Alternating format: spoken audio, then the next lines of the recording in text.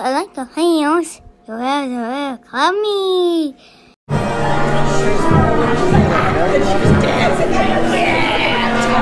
So she just went, oh.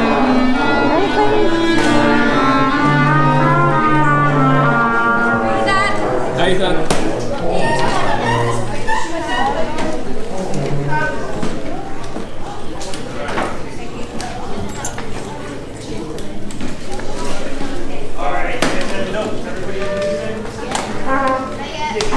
Start, start